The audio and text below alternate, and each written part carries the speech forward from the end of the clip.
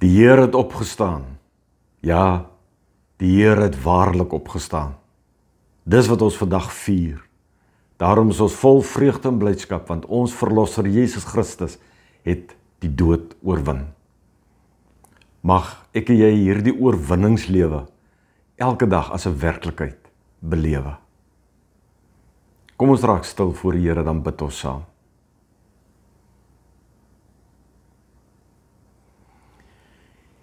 Jesus ons Here, ons loof U. Die een vir wie die graf nie kon gevange hou nie.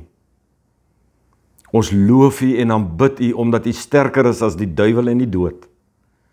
Dankie, dankie, dankie dat ons daarom kan weet dat ons werklik vir niks hoef bang te wees nie want U lewe. En U is met ons al die dae tot wanneer U ons opwek. O Here, U wat die dood oorwin het en tot in alle ewigheid lewe.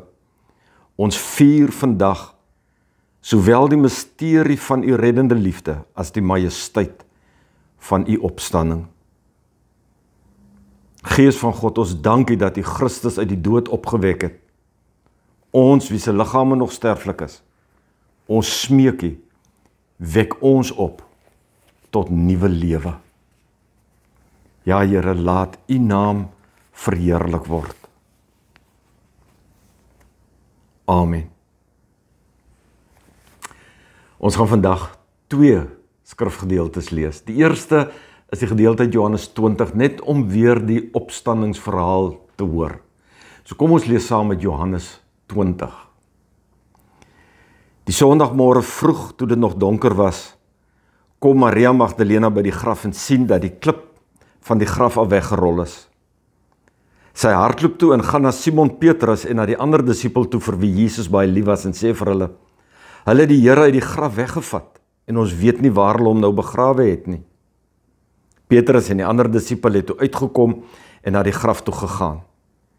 Die twee het saam begin hardloop, maar die ander disipel het vinniger as Petrus gehardloop en eers by die graf gekom. Toe hy vooroor buig sien hy die doeke lê, maar hy het nie ingegaan nie. Na hom het Simon Petrus ook daar aangekom en hy het in die graf ingegaan. Hy sien toe die doeke daar lê, ook die doek wat om Jesus se kop was. Die doek het nie by die ander doeke gelê nie, maar was eenkant afsonderlik opgerol. Daarna het die ander disipel wat eers by die graf gekom het ook ingegaan en hy het dit ook gesien en geglo. Hulle het nog nie die skrif verstaan dat Jesus uit die dood moet opstaan nie. Daarna het die disippels weer huis toe gegaan. Maar Maria het buite die graf bly staan en huil. Terwyl sy huil, het sy vooroor gebuk om in die graf in te kyk. Toe sien sy twee engele met wit klere aan daar sit waar die liggaam van Jesus gelê het, een waar die kop en een waar die voete was. Hulle vra toe vir haar: "Mevrou, waarom huil jy?" Sy antwoord hulle: omdat hulle my Here weggevat het en ek nie weet waar hulle hom nou begrawe het nie. Nadat sy dit gesê het, het sy omgedraai en vir Jesus daar sien staan, maar sy het nie geweet dat dit hy is nie. Jesus vra toe vir haar: "Mevrou, waarom huil jy? Vir wie soek jy?" Sy het gedink dit is die tuinopsigter en sy het vir hom gesê: "Meneer, as u hom weggevat het, sê vir my waar hy hom begrawe het en ek sal hom daar gaan haal." Jesus het vir haar gesê: Maria. Sy draai na hom toe en sê in Hebreëus vir hom: Rabboni, dit beteken leermeester. Toe sê Jesus vir haar: Moet my nie vashou nie, want ek het nog nie na die Vader toe opgevaar nie. Maar gaan na my broers toe en sê vir hulle: Ek vaar op na my Vader toe waar ook julle Vader is, wat ook julle Vader is, na my God wat ook julle God is. Maria Magdalena het toe vir die disippels gaan sê: ek het die Here gesien. En sy het ook vertel wat hy vir haar gesê het. Ons lees net tot sover uit Johannes uit. Kom ons lees nou die teks vir die vir die dag. 1 Korintiërs 15 van vers 19 af. As ons net vir hierdie lewe ons hoop op Christus vestig, is ons die bejammeringswaardigste van alle mense. Maar nou Christus is opgewek uit die dood as eersteling uit die wat gesterf het. Aangesien die dood deur 'n mens gekom het, het die opstanding van die dooies ook deur 'n mens gekom. Net soos almal deur hulle verbondenheid met Adam sterf, so sal almal in Christus lewend gemaak word. Maar daar is 'n volgorde. Die eersteling is Christus, daarna by Christus se koms die wat aan hom behoort. Daarna kom die einde wanneer hy die koningskap aan God die Vader oordra nadat hy elke mag, elke gesag en krag vernietig het. Hy moet as konings heer, 'n koning heers totdat die Vader al sy vyande aan hom onderwerp het. Die laaste vyand wat vernietig word is die dood. Ons lees net tot sover. Daar's 'n storie wat nou baie vertel word van die seentjie wat vreeslik vies was dat hy die Sondag, Paasondag, na die kerk toe moes gaan. Hy wou niks af van hoor nie. Die skoene het gedruk. Hy wou nie sy hare kam nie en hy was sommer net ontevrede want dit was 'n lieflike dag en hy sou liewer buite wou speel. Maar soos dit nou maar met kindertjies gaan, het, is hy toe nou uiteindelik saam met pa ma kerk toe. En in die kerk hoor die pa en die ma hoe hy so saggies brom. Ek weet nie hoekom ek moet pa Sondag kerk toe kom nie. Dis elke keer dieselfde storie en dit eindig elke keer dieselfde. En dis nou nogal waar. Die Paasverhaal eindig elke keer dieselfde. Dit eindig elke keer met 'n leë graf. En dit is hoekom ons opgewonde is. En dit is hoekom ons bly en vol vreugde is, want die graf is leeg. Jesus het opgestaan. Jesus Christus het oorwin. Daarom het die disippels Petrus en Johannes teruggehardloop na die ander disippels toe om te gaan vertel. En daarom het Maria Magdalena na haar ervaring met Jesus in die tuin ook by die disippels gekom en het stilweg gesê ek het die Here gesien. Daar's 'n vreugdeklank in want na daardie sin van Maria Magdalena was niks ooit weer dieselfde nie. Niks sou ooit weer dieselfde wees nie. Jesus se opstanding het die wêreld verander. En Paulus wil in hierdie gedeelte wat ons saam gelees het uit 1 Korintiërs 15 vir ons juis kom wys op die allernoodsaaklike belangrikheid daarvan dat Jesus opgestaan het uit die dood. Want sonder die opstanding uit die dood sou ons geen hoop gehad het nie. Daar is geen hoop as Jesus nie opgestaan het uit die dood uit nie. Om die waarheid te sê, Jesus se kruisiging, se kruisdood sou verniet gewees het as hy as hy nie opgestaan het uit die dood uit nie. Daarom is dit so belangrik vir ons en kan ons sê dat die kruis en die opstanding is die hoekstene van ons geloof. Die kruis en die opstanding is die hoekstene van ons hoop, van ons vreugde, van ons vrede, van ons liefde. Sonder die kruis en die opstanding sou ek en jy nie as kinders van die Here kon lewe nie. Dit sou net doodgewoon nie vir ons waar kon wees nie. Christus se opstanding uit die dood is ons kaartjies na die ewigheid. Paulus wil nou hier redeneer dat as ons net vir hierdie lewe op Christus hoop, as ons net vir hierdie lewe wat ons nou hier op aarde lewe op Christus hoop, dan is dit maar 'n ydelle hoop. Dan is daar geen ewige lewe nie. Dan het ons in skelmstreek vals nuus geglo. Daarom is dit so belangrik dat hy wil beklemtoon Jesus is die eersteling wat uit die dood opgestaan het. Hy is die die eerste een, hy is die inleier tot die ewige lewe. Hy het dit vir my en jou bewerk. As jy nou 1 Korintiërs 15 lees, dan kom jy agter dat Paulus se argument hier draai om die groot maar hier in vers 20. Maar nou Christus is opgewek uit die dood. Hy het nou 'n klomp goed gesê, dan sê hy maar nou Christus is opgewek uit die dood. Jy sien Christus se opstanding is God se groot maar. Christus se opstanding is God se protes teen al die stikkindheid en die en die gebrokenheid in hierdie wêreld. Dis asof God op 'n punt kom waar hy sê genoeg is genoeg. So kan dit nie aangaan nie. Dit moet verander. Dit kan nie so aangaan nie en daarom laat hy Jesus opstaan. Daarom maar nou Christus is opgewek uit die dood. Dit gee natuurlik vir my en jou die Jesusbril om ook die mooi in die lewe raak te sien. As ons deur die opstandingsbril na die wêreld kyk, dan gaan ons anders daarna kyk. Dan gaan ons anders praat. Ja, ons sien die swaar. Ons sien die seer, ons sien die ellende, ons sien al hierdie moeilikheid wat hier op aarde is. Ons ons kyk nie deur 'n rooskleurige bril asof alles net wonderlike maanskin en rose is nie.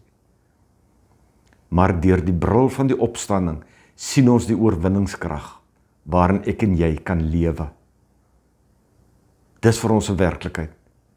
En daarom kan ons in hierdie oorwinning lewe elke dag want Christus het opgestaan uit die dood.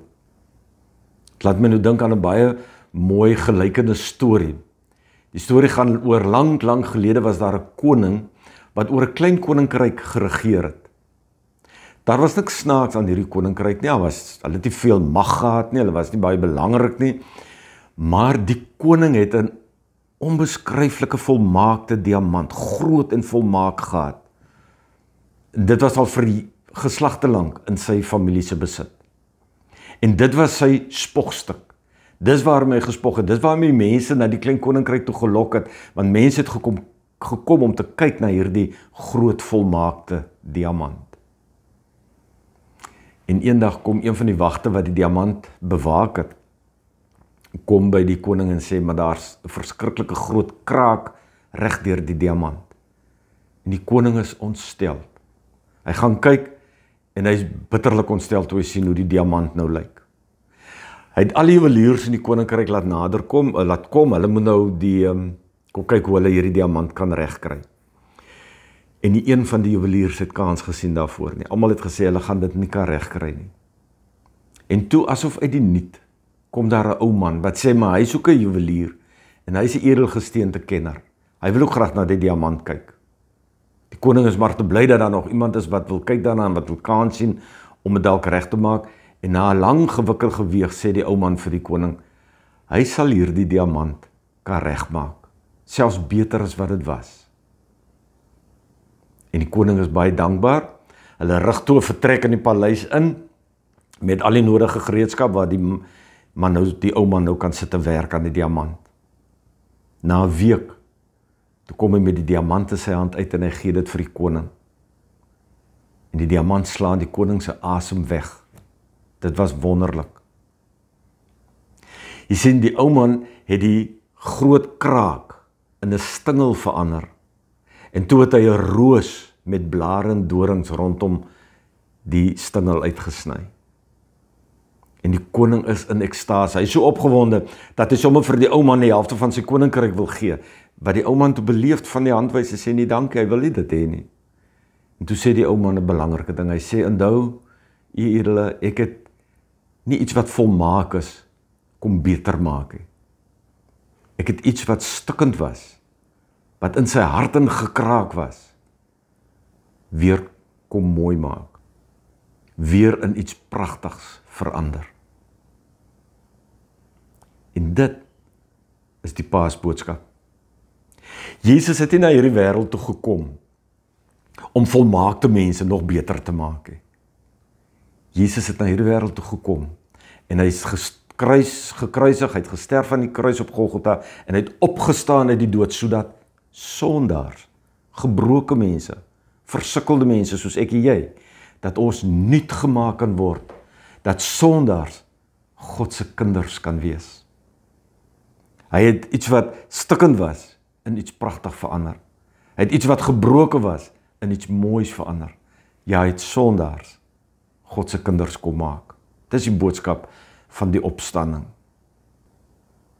Dat ons nuut gemaak is beteken nie dat ons nie swaar kry nie. Ons leef in 'n wêreld waar waar slegte dinge ook met die Here se kinders gebeur. Dit weet ons, ons beleef dit aan ons eie velle. Maar in ons swaar kry, in ons seer, weet ons ons het 'n vrede en 'n rus wat niemand van ons kan wegvat nie. Onthou weer die uitnodiging van Matteus 11. Matteus 11 vers 28. Kom na my toe almal wat uitgeput en oorlaai is en ek sal julle rus gee. Neem my juk op julle en leer van my want ek is sagmoedig en nederig van hart en julle sal rus kry vir julle gemoed. My juk is sag en my las is lig. Dit is wat die opstanding vir my en jou beloof. Rus en vrede, 'n nuwe lewe wat niemand van ons kan wegvat nie. Maar daarom is dit ook belangrik dat ons die regte pad loop. Dit is so maklik om die verkeerde pad te loop. Daar word 'n verhaal vertel van 'n spioen wat deur die Persiese weermag gevang is. En die generaal het 'n gewoonte gehad om as iemand ter dood veroordeel word, kry hy 'n keuse. En hierdie man is ter dood veroordeel en toe kom die koning, eh, die generaal na hom toe en sê vir hom, jy kan nou kies. Wil jy 'n vuurpeloton hê of wil jy deur 'n groot swart deur loop? Daar's 'n groot swart deur, wat kies jy? Die spioen het die vuurpeloton gekies want dis wat hy geken het. Hy weet nie wat agter daardie deur is, wat se gevaar of ellende daar vir hom wag nie. So hy kies die vuurpeloton en hy skort daarna doodgeskiet. Die generaal sê toe vir een van sy adjudante: "Dit is tog snaaks dat mense altyd die bekende kies. Ons het tog vir hom 'n keuse gegee. Die bekende of die onbekende?" En toe vra die adjudant vir hom: "Maar wat is agter die groot swart deur?" Toe kyk die generaal om en sê: "Agter daardie groot swart deur is vryheid. Ons het ook 'n keuse. Ons kan saam met die wêreld leef. Dis die bekende. Almal leef soos die wêreld. Almal doen wat ons doen mee met alles wat die wêreld doen. Dis bekend. Ons voel tuis daarmee. Of ons kan die onbekende van 'n opstandingslewe leef. Ons kan dit nie altyd verduidelik nie, ons kan dit nie verklaar nie, ons kan dit nie vir, vir mense uitlê nie. Ons kan net weet ons is nuut gemaak deur Jesus Christus wat opgestaan het uit die dood. Ons kan 'n opgestaane lewe lei. Dis dis nie altyd bekend wat ons gaan doen en hoe ons dit gaan doen nie. Maar ons weet die Here is by ons en hy dra ons deur hierdie wêreld. En dis die hoop wat ek en jy het. Dis die opstandingshoop wat ons het. Ja, ons kry swaar, ons kry seer. Ons kry ook lekker dinge, ons moenie maak of ons net swaar en seer kry nie. Maar maar daar da gebeur slegte dinge met God se kinders ook. Maar ons het 'n hoop. 'n Hoop wat niemand van ons kan wegvat nie. Die hoop Jesus Christus. Die opgestane verlosser, die koning wat lewe, die oorwinnaar. Amen. Dankie Here Jesus dat U lewe. Dankie dat niemand U mag kon oorwin nie. U is die oorwinnaar. U is die een wat regeer. U is die een wat aan die regterhand van God sit. Dankie dat dit ons hoop is, ons krag is. Ons vreugde is. Ons vrede is. Dankie dat u liefde ons liefde is. Ons prys U in Jesus se naam. Amen. Nou kan ek en jy in hierdie wêreld as oorwinnaars gaan lewe. Nie omdat ons so sterk en magtig is nie, maar omdat die genade van ons Here Jesus Christus en omdat die liefde van God ons Vader en omdat die teenwoordigheid van die Heilige Gees by ons is vir altyd. Amen.